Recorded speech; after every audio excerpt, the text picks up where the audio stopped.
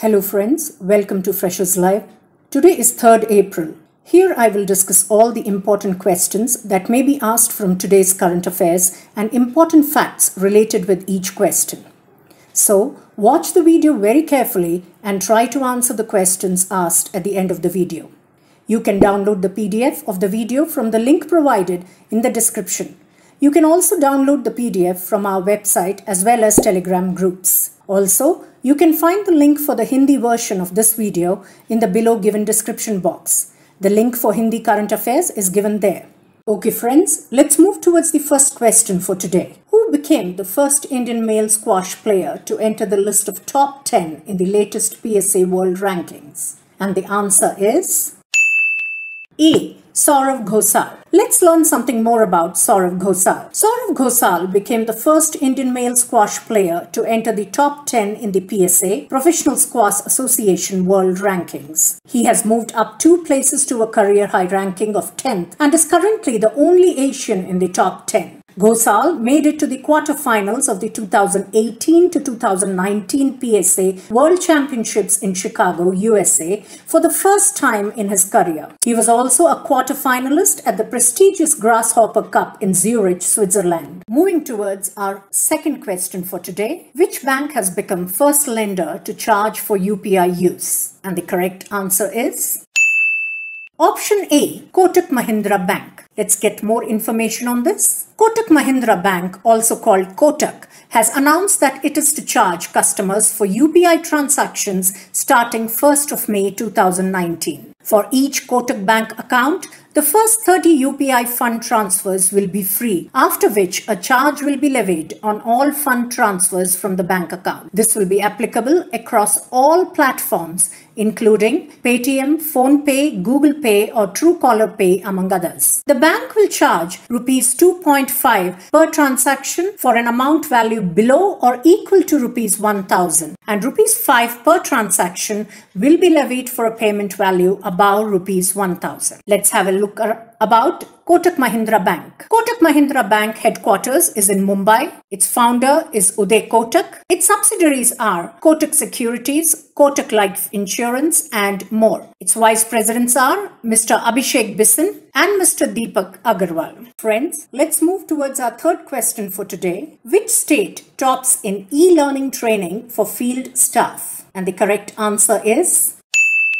a. Telangana. Telangana ranks number one in the e-learning training program of the Department of Personnel and Training, Government of India. During the financial year 2018 to 19, Dr. MCR HRD Institute enrolled over 20,000 field staff in different districts of the state to impart training on 12 soft skill modules and three domain specific modules on RTI, office procedures and finance and accounts apart from sustainable development goals. Let's see about Telangana. Telangana was founded on 2nd June 2014. Mr. K. Chandrasekhar Rao is its chief minister. ESL Narasimhan is the governor and its capital is Hyderabad. Let's move towards the fourth question for today. Which of the following country is to increase sugar, rice and bovine imports from India? And the correct option is D. Indonesia. Indonesia is looking at increasing sugar, rice and bovine imports from India. Council General of Indonesia, Ade Sukandar, said that India exported about 50,000 tons of rice in 2018. It is looking at importing more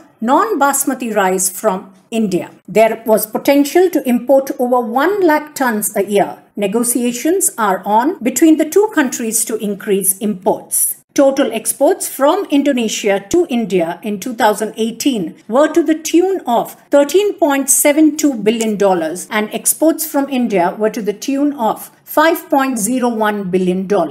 Let's learn about Indonesia. Indonesia president is Joko Widodo. Jusuf Kalla is its vice president. Capital of Indonesia is Jakarta and the official or national language spoken is Indonesia. Currency is Indonesian rupiah. Friends, let's move towards our fifth question. COMCASA is India's military information sharing pact with, and the answer is B. United States. Let's learn about COMCASA. COMCASA, Communications Compatibility and Security Agreement. It is the Indo-US Military Information Sharing Pact and was signed at the 2 plus 2 bilateral summit on 6 September 2018. Recently, India and the US have set up the first ever secure communication link between the Indian Navy and US Central as well as Pacific Naval Commands under the COMCASA Pact at New Delhi, India. COMCASA is one of the three foundation agreements that need to be signed by a country with the United States to share high-end encrypted communication and satellite data. The other two pacts are LEMOA, Logistics Exchange Memorandum of Agreement, and BECA, Basic Exchange and Cooperation Agreement. Friends, let's move towards our sixth question. Who won the John Dirks Canada Gairdner Global Health Award? And the correct answer is Option B, Vikram Patel. Let's learn about Vikram Patel. Vikram Patel, a psychiatric and professor of global health at Harvard Medical School, has won the prestigious John Dirks Canada Gairdner Global Health Award. Mr. Patel has led research generating knowledge on the burden and detriments of mental health problems in low and middle income countries and pioneered approaches which utilize community resources for the prevention and treatment of mental health problems in India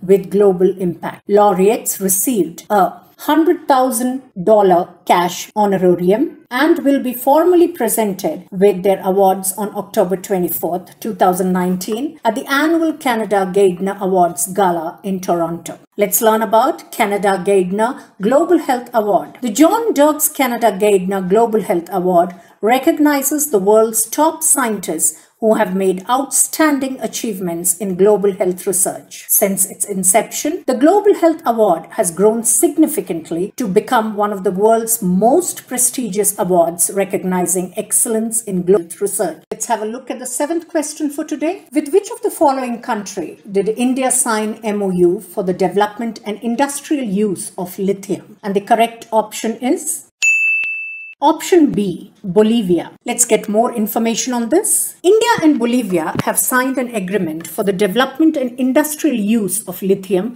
during the state visit of the President Ram Nath Kovind to Bolivia. Lithium is a prime component used to power electric vehicles and cell phones. India and Bolivia agreed to forge a mutually beneficial partnership to facilitate Bolivian supplies of lithium carbonate to India. The country also plan to foster joint ventures for lithium battery or cell production plants in India. This agreement will make Bolivia one of the major provider of metal for India's e-mobility and e-storage needs. Bolivia is known to have one-fourth of the world's lithium reserves. The agreement facilitates mechanisms for the commercialization of lithium carbonate and potassium chloride produced in Bolivia by Yacimientos de Litio Bolivianos Corporation. Let's learn about Bolivia. Bolivia's president is Evo Morales. Alvaro Gracia Linera is its vice president. Sucre is its constitutional capital. And La Paz is its seat of government. Boliviano is the currency. Let's move to our eighth question for today. GST has given a record high collection of Dash in the month of March. And the correct answer is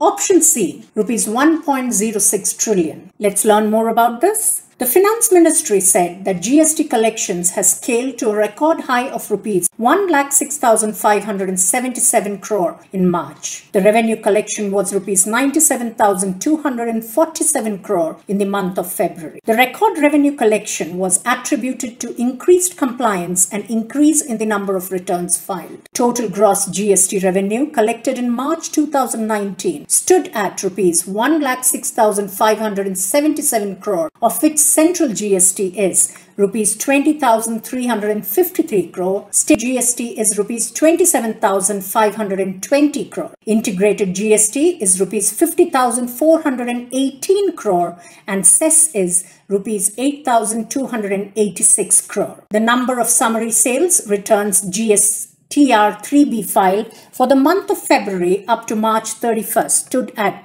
7.59 million. The monthly average of GST revenue during 2018 to 19 stood at rupees 98,114 crore, which is 9.2% higher than the previous fiscal. You can have a look at the GST collections for the year 2018 to 19 on the screen. To conclude this session, here comes the question of the day. What does COMCASA stand for? Try to answer the question and drop your answers in the comment box. Okay friends, that's for today. Thanks for watching our video. If you find information provided in our video useful, please do like, share and subscribe our YouTube channel. Follow us regularly to stay updated on current affairs. Until then, this is Freshers Live signing out from Current Affairs video. Take care.